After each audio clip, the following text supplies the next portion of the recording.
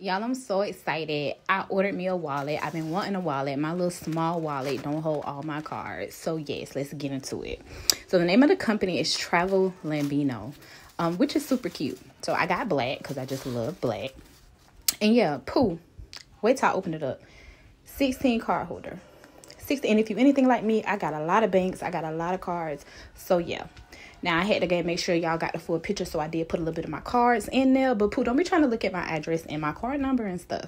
But anyway, if you want this wallet, this wallet is dope. It'll be on my link in my bio, Amazon under personal must-haves. Yes, I love it. Get into it.